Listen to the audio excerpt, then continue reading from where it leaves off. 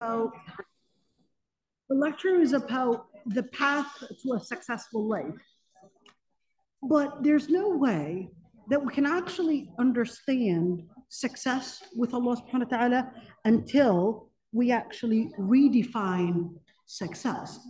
And remember in the earlier lecture, we were talking about how we're living in the age of postmodernism, where it's all about redefining the different definitions. And remember when we actually talked about in terms of redefining the definitions, that's really, guess what? That's also Islam. Even Islam is all about telling you to redefine the different matters around you, to understand things based on what they really are, and to be careful from zukhrif al-qawli. To be careful from all the different cosmetics that might actually be put around the wordings because the wordings can be very manipulating. The wordings themselves can actually be the main tool that shaitan plays on your mind. If we as human beings, we could easily fall for an optical illusion, we are more susceptible to falling in a mental delusion and an illusion than actually an optical one. And that's why when we actually speak about when we actually speak about success, it's extremely important. Okay, here we go. Is it moving? It's extremely important to keep in mind that when we speak about success, that remember that the pressure of the postmodern philosophies and the cultures have actually affected many of our definitions. If we don't actually recognize all these different definitions, we will actually fall to the social media that has right now created a new social currency to redefine many of the different things that surround you. They're defining what makes success, who is successful, who's a person worthy of listening to, what is a, per, a, matter that is worthy of dealing with. Now, Muslims are actually becoming consumers of that postmodern product like any other community. Now, what we don't recognize is that people and their understanding of the world themselves and the dynamics it plays within their life and the social relations, it actually affects them without them recognizing. There are a lot of different hardships to actually that actually arise in speaking about this topic. And the most important thing is that in the age of postmodernism, remember in the earlier lecture, I was actually talking about postmodernism and talking about the different philosophies that are out there. But there's something really scary about that, which is what was that? A little bit louder? Sorry. That's okay. So there's something really scary about that, is that within our times, there's this piece of it that's basically redefining what is ideal. And it many times, what is ideal is really, and who is ideal, is really the person that is embracing all the different paradoxes in ethics. And this is extremely scary because it's all about if you embrace all the different paradox and all the different discrepancies within culture, and you manage to show that you don't see it, you have mastered to being the ideal person. If you manage to live the fakeness, you become ideal.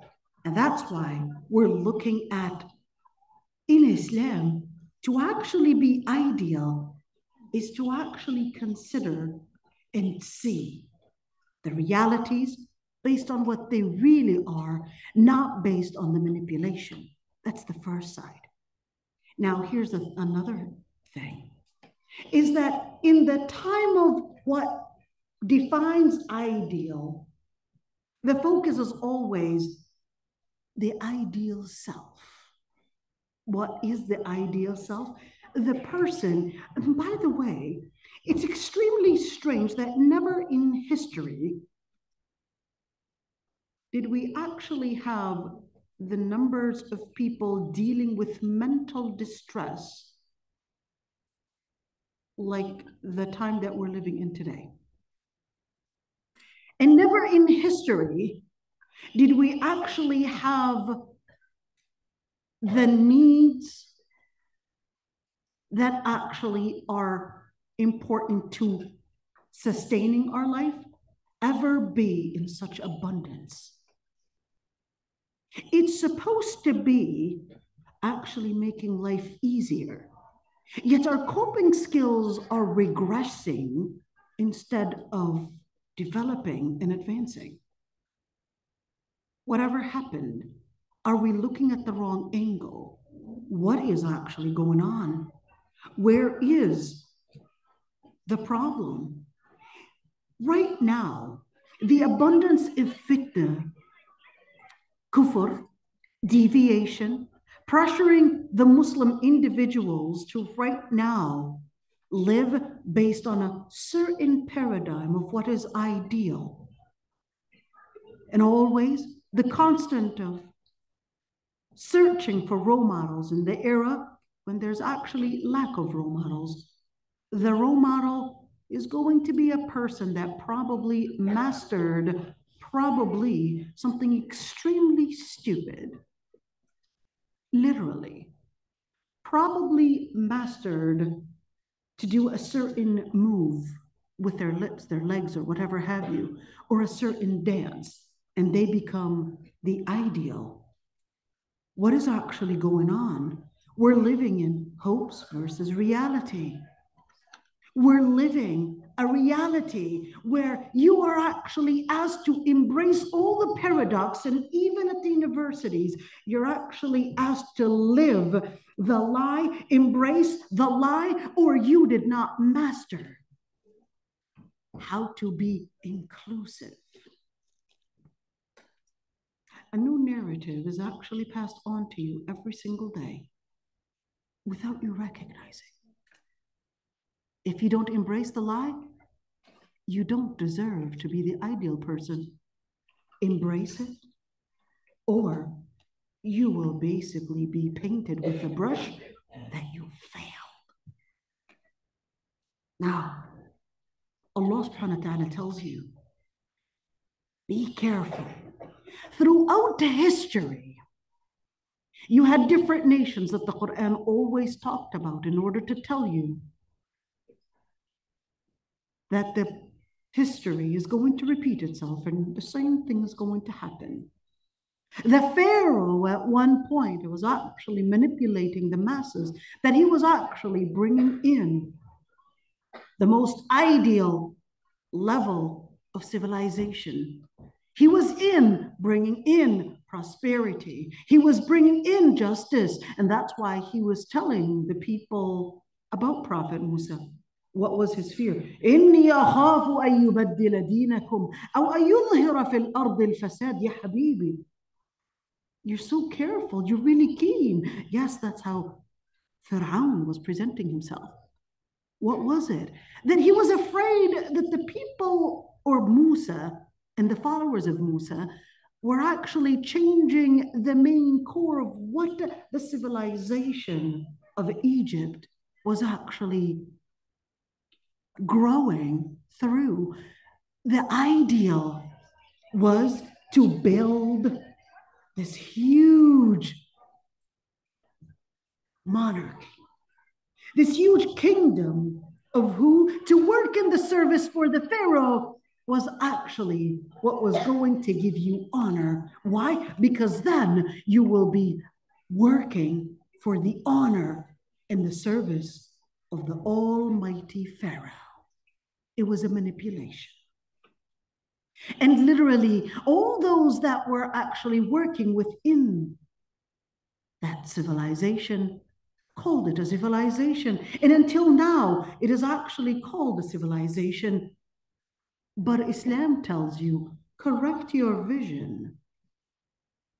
Musa is the place of civilization. Correct your vision. La ilaha illallah is actually the place of success. Is the place of civilization. Why? Why would that even be a place of civilization? Well, that's because when we speak of success, it's all about how do you get to the main reason for your purpose of life? Your purpose of life was actually to be tested. The tool for your test is going to be to apply the principles of the Lord Almighty. So the Lord Almighty would actually tell you that the real place of success is not the materialistic life that you might see. For surely it was not the pyramids, it was not the Pharaoh, and surely it was not all those different things that the society was presenting it, that it was actually what's making a person go through success. So, what is success? Success basically starts with you recognizing your place of defining where does haqq start from? Where does truth actually start from? Truth actually starts from La ilaha illallah. Why? Because Allah subhanahu wa ta'ala says, إِيَّتَّبِعُونَ إِلَّا الظَّنِّ وَمَا تَهْوَى الْأَنفُسُ وَلَقَدْ جَاءَهُم مِّن رَّبِّهِمُ الْهُدَى You've got three main categories for defining the world around you. People are either following speculation, they can present it as if it is the latest of what research and science had discovered. It can also be presented in lobbying, culture, and that's what the norm and the trend is. But the real basis to it was none other but pleasure. None other but a delusion that the rest of the society wanted you to embrace. That's the same delusion that even Qawm Lut were actually doing, in where even when the angels coming into the form of human beings, they actually asked Prophet Lut, we need to have a conversation. And you know what that means? They were actually interested in them. But then what happened? He basically said, There are these girls within the society. Why are you coming after these guests? And they said, No. At the end of the day, what happens? They basically plot and plot. It was time to bring an end to whatever is causing a threat to our growing civilization, according to them. What was the problem with Lut? What was the mistake that he was committing? They said, Just expel them out of the city. Why? What, what crime did they commit? What was the crime? They're actually seeking tahara. They're seeking purification. They're seeking a different type of a trend. And that trend is going to be a threat to the trend we're trying to propagate we're trying to instill within the society. So that's why Allah subhanahu wa ta'ala tells us that the real person to succeed was actually Prophet Lut. Now we go, Prophet Musa, Prophet Lut, and the list goes on and on because Allah subhanahu wa ta'ala was telling us that the story of success actually starts with who do you consider as well, number one, your essence that preceded your existence? How do you actually work towards the destination that Allah subhanahu wa ta'ala created the main reason for life? What are you what are you heading to? Therefore, it's all about redefining your places of orbit. Your place of orbit is going to determine the places that draw you in. And that's where, when you actually look at the destinations, Allah subhanahu wa ta'ala actually says, قُلْ آمَنْتُ بِاللَّهِ ثُمَّ اسْتَقِمْ The first orbit, the first place of starting, redefining your vision, how you recognize what you're doing. You recognize where you're heading. You recognize where your definition of mind is. What is the definition of mind? The definition of mind is to help you define all the different matters that are around you. Because if you don't define the different matters around you, you will be sucked in. So Allah subhanahu wa ta'ala is telling you, start with La ilaha illallah and say it. Make it a word that you believe in. Make it the word that you always utter. Speak it in every single pride. قُلْ آمَنْتُ بِاللَّهِ ثُمَّ اسْتَقِمْ Say, I believe in the Lord Almighty. And then take the path to success. But you see right there, this little, this little right, right there, line with all these different lines, the Prophet ﷺ actually explained that there's this one path, and all the different paths that are around it are basically paths to shaitan, and there's only one path to Allah Almighty. So, what does that mean? You can have so many different paths that are called the different isms feminism, secularism, and so many different paths that are out there nationalism, tribalism, all these different things. But there's only one path to the Lord Almighty. So the Prophet ﷺ was telling you, be careful from getting drawn and sucked into these isms because they are paths of shaitan. So how do we actually understand all of this? The way we understand the world actually starts from in there your mind. Because if you don't actually have your definitions in place, you're going to get lost in so many different definitions. What do I start with? To actually live the road to success, I always put it in an acronym D N A I N. This acronym was not invented by me. This acronym is basically called Maqasid al-Sharia, the main reasons for Sharia, the main legal maxims of what Sharia, or in other words, the vertebra of Islam, in where D should be your first place of focus. What is D? D is basically your deen, your spirituality. That's the first thing that you want to start with. But your deen, it must be in order for it to grow, it must be constantly growing. Because الإيمان يزيد وينقص يزيد بالطاعة وينقص بالمعصية because your deen will increase and decrease. This fluctuation in increasing and decreasing, you have the responsibility to make it grow. You make it grow by obedience to the Lord Almighty. In other words, freedom from obeying anyone but Allah. Islam is about making you free from anybody manipulating you, that they're actually saying what's right to actually saying no. I'm not going to be indoctrinated.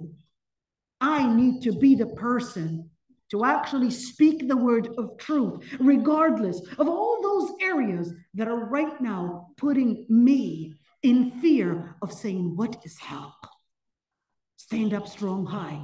Don't be afraid. Let your deen be your number one priority. Number two, the preservation of your life. The preservation of your life because your life is a gift from Allah subhanahu wa ta'ala. You want to make sure that you remember all the time that by preserving your life, and that by being thankful to your to Allah subhanahu wa ta'ala, that you're actually keeping that connection between you and Allah subhanahu wa ta'ala and using your body to be the means to get to Allah subhanahu wa ta'ala. Aql in mind. In where you're constantly, when we're speaking about mental health, like I said earlier, that's probably the most commonly and talked about subject right now but when we're actually speaking about aql in Islam, it's basically telling you what are you feeding your mind, whether we're talking about substances or whether we're talking about what is even more dangerous than substance. It's the indoctrination. That's even more dangerous than the actual substance because with substance, you can probably go some with treatment facility probably in four months and you'll probably be out of the facility in four months and be treated. Yes, there's going to be an addiction somewhere um, that will probably come back to you every, uh, every once in a while. But what's even more dangerous, because that's a sin. If somebody is addicted to alcohol, that's a sin. Not that I'm, I'm saying it's not, it's not dangerous. It's definitely a sin. But what's even more dangerous than sin is kufr, my friends. What's even more dangerous is the indoctrination in where it's taking you in the name of education into an indoctrination, getting you out of Islam and wanting you to believe in manipulation and to call it reality and to call it inclusivity and to call it that it's all about human rights and to call it, and the list goes on and on with a different political correctness that manages to deceive us. The protection in order to actually get to the fourth level of success, family and chastity. Because when you're actually concerned about chastity, then you're actually getting into the path of making sure you're getting that balance with preserving your own family. Because once you preserve your family, then you actually preserve your own physical health, mental health, psychological, and more importantly, your deen. Five, wealth. When you actually look at today, what we're actually told in terms of success, I want you to look at the paradox here. The West actually used this the opposite way. So in Islam, deen comes first, nafs comes second, aql, ird. The West actually flips it. Man comes first, wealth comes first, chastity and sex comes second, education comes third, life comes fourth. If you have time for Deen, all right, do some yoga. You see where the problem is? The problem is when we are actually indoctrinated to the wrong definition of where success lies. And that's why when we look at where does success lie, it actually starts with recognizing your pillars of Islam, recognizing how to actually put in tahara, salah, how to put in your definitions in order. Because if those definitions are not in order, you're actually confusing your priorities. And what actually leads to failure is number one reason is when you confuse your priorities. Because the second you confuse your priorities, you'll actually be lost in paths. You, you've got a short time, you've got limited energy, and you definitely cannot multitask. And even when you do, you will actually not be successful in both. You need to focus. So your focus, number one, actually starts with your deen. Two, with your health. Number three, pure and halal thought. Focus on learning your deen because you will not be capable of growing in your deen if you don't actually know where your deen is. It's not enough to actually go to Dugsi part time or go to Dugsi here and there. That's not enough. Every single day, you actually need to work on your dhikr, your visual dhikr, your audio dhikr, your oral dhikr. It's not enough because there is also what processes the dynamics within your brain, the ilm, ilm, even fiqh, even hadith, all of that is going to help you correct your mind, your vision, in order to make sure that you're actually living based on La ilaha illallah, because you could easily get sucked in. It's extremely easy. In order to not get sucked in, what should I work on? Make sure that you actually put these places and get into considering those different areas to preserving your deen. Because remember, your purpose of creation was وَمَا خَلَقْتُ الْجِنَّ وَالْإِنسَ إِلَّا لِيَعْبُدُونَ Your life. When you're on your deathbed, what's the first thing that's going to be on your mind? Your dhikr, what are you constantly repeating? What are you constantly listening to? Because remember, when you actually look at your face, when we read, Aslamtu wajhiya lillah, why the face? Because the back is just a, a blank piece. Just a blank piece. But for al wajh, what are you looking to? What are you looking at? What are you listening to? What are you talking about? What are you consuming? What you, how much of time are you spending with your friends? If it is not La ilaha illallah, if you're not engaging in dhikr, don't waste your life. Your time is limited. Now you have the potentials. If we were to take right now just a rough numbering, most of you are between the ages of 15 and 25. That's most time of your potentials. That's the time when you have the most free time, the most potential. That's the time you want to use because once you grow older, you're going to have children, you're going to get busy with your kids, and you're going to get busy with so many different things. This is your golden era. If you don't use your golden era for a golden mission, you've lost it all. Are you really heading towards success? Or are you heading towards a delusion? What are we supposed to be considering here? The end of the day, Islam tells you listen, Allah subhanahu wa ta'ala sent Jibril alayhi salam, but in an image of a human being. And that was to teach a lesson, by the way. The Sahaba are there sitting down, and then Jibril comes in. The Sahaba are sitting down, and they said, بينما نحن جلوس عند رسول الله while we were sitting with the Prophet ﷺ, a man comes in dressed in white we didn't know who that person was definitely he was not a person that was on a journey we didn't recognize who that person was but we had seen one thing he was dressed in white clothing and we had seen he was coming in sitting right in front of the Prophet ﷺ and said, أخبرني عن الإسلام.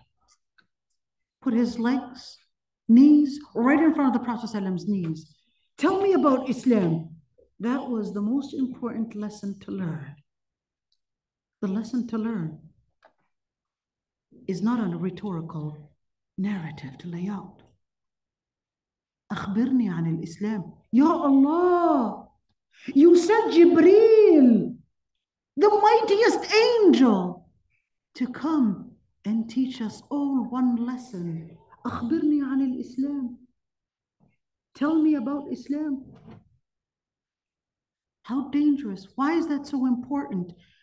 Why not tell us about how atoms work and the cure to cancer and, and all these different things?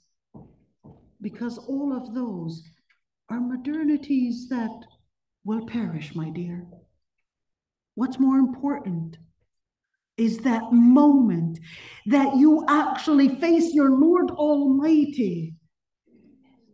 What are you going to say? What are you going to answer? Why were you created from the very beginning? So he said, أخبرني عن الإسلام. And he gives him الإسلام أن تشهد أن لا إله إلا الله وأن محمد رسول الله وتقيم الصلاة وتؤتي الزكاة. We know the answer. It's not about knowing the answer. It's about letting that answer shape your vision to success and letting that be your main orbit. Just like you would study in chemistry, you've got every single chemical element actually have an orbit. And that orbit is what shapes its identity whether it's a gas, liquid, solid, and all those different things in chemistry that we know of and that we read about, because that's what makes its identity. But what you want to keep in mind is that you as a Muslim, you also have the same orbit. Your orbit should be Allah Almighty, your deen. Your nafs goes in the second orbit. Your, your aql goes in the third orbit. That's what leads you to success because once you have this orbit in place, you will have your identity in shape. Therefore, when you correct your place of vision, that's what helps you recognize your priorities. And that's where, when we're speaking about successful life and success, we first have to start with figuring out all the different delusions that are passed on to us of what it means to be successful, that it's about getting a degree, that it's about getting a job, that it's about buying a home, that it's about finding the love of your life and, and so forth. But Islam tells you wait a minute, figure out your deen, and remember that the purpose of life actually started before even your existence. So make sure your effort, your vision, and all the different priorities you lay out first. La ilaha illallah. Make sure you put that always within the paradigm of understanding where you're getting, because the main thing you're getting to is actually Jannah. That's what you want to get to. You want to get to Jannah. So, therefore, consider what is the purpose of my life? Well, how do I actually learn and see the world around me based on the lens of deen of La ilaha illallah? Why? Because Allah subhanahu wa ta'ala sent you Jibreel alayhi salam all the way down to earth in order to tell you that listen, فمن زحزح عن النار وأد... فمن زحزح عن النار وأدخل الجنة فقد فاز because the main reason, when you're actually on Judgment Day and everything blacks out, the main focus is Allahumma nafsi, nafsi. Ya Allah, get me saved. Because at that moment, you just want to be away from hellfire because you just want to be zuhziha. Because you just want to be taken out. Let all the people that are right now focusing on their life and money and sex and all the different things of pleasures, let them focus on what they focus because that is what's going to perish. But Allah subhanahu wa ta'ala tell, tells you all that is a delusion. Be careful from getting sucked in in where your focus is going to be about your outer appearance. Did I get a piercing? How do I my my eyebrows look? Do I need a, a microblading? Maybe I need to fix my nose. Maybe I need to what is that called? The lips and puffing up the lips and, uh, and the butt and whatever it is, and the list goes on and on, and it's going to be endless, endless. You're never going to be satisfied because shaitan is going to make you not never ever satisfied you're going to try, try puffing up every single corner in your body, and it's never going to be enough. Downsizing some and growing some, and at the end of the day, Allah subhanahu wa ta'ala tells you, listen, all of that will perish. Work on what will not perish. وَالْعَمَلُ الصَّالِحُ يَرْفَعُ Work on what the Lord Almighty tells you, your actions. So, how do I actually start? وهدوا إلى الطيب من القول وهدوا إلى صراط الحميد They were guided for the best of the words. And that guided them to actually getting guided to the best of the actions. So what happens? At the end of the day, what are you talking about? What are you, what environment are you putting yourself in? Is that investing in your deen or is that investing in what will perish in your body? What are you focusing on? What are you following on Instagram? What are you following on social media? And the list goes on and on. Are you just trying to yourself? And guess what? The feeling of lacking satisfaction kills you first, it burns you first. Why? Because you will never feel that you're satisfied. So you will always feel deprived. And when you feel deprived, it makes you live in a cage of burning fire that you can never get to the level of that beauty the level of that fame the level of all of all of that money and all of that satisfaction what do you want to do allah subhanahu wa ta'ala tells you the true success is not in those materialistic things that the true success is actually in there that's why Allah subhanahu wa ta'ala says, أَلَا إِنَّ أَوْلِيَاءَ اللَّهِ لَا خَوْفٌ عَلَيْهِمْ وَلَا هُمْ يَحْزَنُونَ Verily, those that are, the word is awliya. Well, the word awliya actually means three things. Il-wali is basically in three categories. Il-mahabba, il-nusra, il-isti'ana. In love, victory, in seeking support from. So those that are actually living in ultimate love to the Lord Almighty, and they know that the Lord Almighty is the one that controls everything that surrounds them. So they only seek support from the Lord Almighty because they know that the Lord Almighty is the one that is the master of this whole universe. So what do they do? they basically turn to the Lord Almighty in their success. So the Lord Almighty gives them that, and He says, لا خوف عليهم ولا هم يحزنون. They don't feel fear nor sorrow. In other words, depression is going to decrease. This is not at all to say that every single person that has depression is lacking iman. Absolutely not. Absolutely not. Because even Prophet Yaqub alayhi salam, Allah subhanahu wa ta'ala says, وَبْيَضَّتْ عَيْنَاهُ مِنَ الْحُزْنِ فَهُوَ كَظِيمٌ His eyes turned white from all the sorrow and the sadness over his son. He was a prophet and still went into this deep sorrow that affected him and affected him physically. But there was one side of a natural reason in where certainly for losing his son, he basically got into that.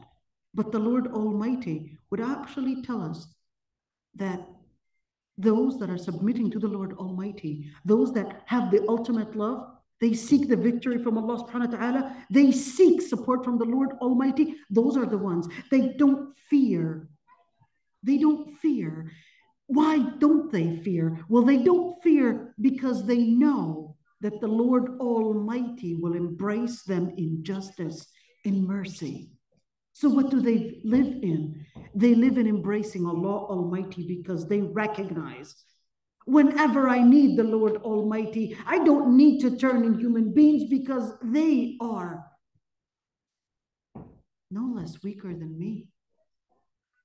They turn to the Lord Almighty for victory, for support. So who are the people that are awliya illah? الذين آمنوا وكانوا يتقون. Those are the people that believe in the Lord Almighty. And those are the people that take it as a commitment. They're committed to their faith. What actually makes a commitment in faith? Determination, consistency equals commitment in order to be successful, you need to have this rule consistency, determination. And that's how you get to commitment. That's why those people, lahumul bushra. So, how do I actually fix those areas? Remember, work on correcting your vision, making that commitment in your heart.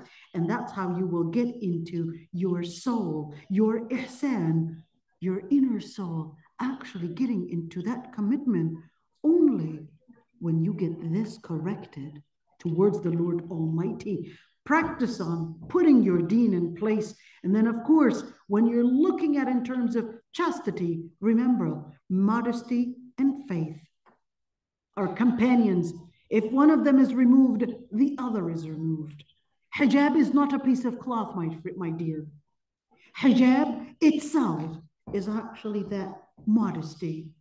It's basically to help you live and feel that I'm part of the mu'minat. It's basically to let you, before others, actually know that she's a person that embraces La ilaha illallah. So to her, she basically considers that her chastity is to guard her iman, that she considers only what is halal, and here's what halal, and touches only halal. Therefore, the salihin would say, whenever I would cross the boundaries, I would see the effect of my sin on my pets, on my my spouses and my children and everyone that's around me. So how do I actually consider all of those areas? Be careful from actually getting absorbed in what right now the main societies work towards. What is the main society working towards? It's all about money.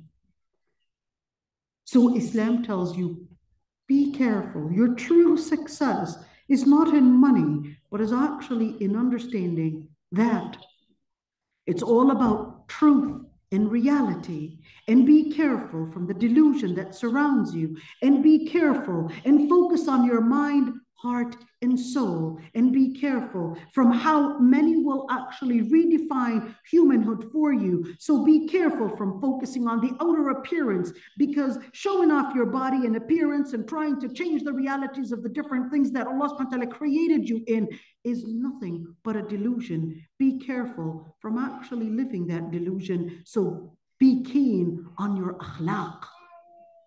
Be keen on your spirituality. Be keen on living the reality and not the narrative. So Islam tells you, hold on to the Prophet's mission because remember, Allah subhanahu wa ta'ala tells you that at the end, من المؤمنين رجال صدقوا ما عاهدوا الله عليه. There are certain men and of course, this is a generalized statement. It's talking about jihad, but it would include women as well. What were they honest about? They were honest to actually live the mission of the prophets and the messengers. They were honest to actually not let they were رجال لا تلهيهم تجارة ولا بيع عن ذكر الله they were men they were people of mighty mission they were people of a legacy not wealth and not any entertainment would get them off dhikr they were committed, consistent, and that actually built in them the commitment because they understood that success is a responsibility that grants you honor. And at the end of the day, is that whether it's a woman or whether it's a man, Allah subhanahu wa ta'ala actually tells us, ladies, don't let your focus be on how the shaitan or the people that surround shaitan will tell you that it's all about looking attractive. So he says, tells the Prophet Prophet's wives, why? Because umm, it's basically, you are the crux of the matter. It's basically a lesson to learn throughout history that ladies, if you really are at the level of fearing Allah subhanahu wa ta'ala, don't be lenient with your voices because even your voice should only be a word of haqq. So he said, be careful from working and focusing on getting the attraction of men or getting the attraction of those that have diseases in their hearts. And قلنا قولا معروفا and make sure you say what is haqq and make sure you say what is right. And at the end of the day, وَلْيَسَعَكَ بَيْتُكَ careful from going and wandering everywhere. Let your own home be spacious for you. not spacious in its space and, and how many square feet, but let it be the place where you would actually be capable of lo- living in order to, to consider your deen, to consider your akhirah. Be careful from wandering around in malls and shopping and all of that. وَلْيَسَعَكَ بَيْتُكَ وَابْكِ عَلَى خَطِيئَتِكَ because there's no way if you're constantly just shopping and if you're constantly just working on social media, your eyes are basically focused elsewhere in order for you to actually feel that faith. Let you look inside. Work on that area.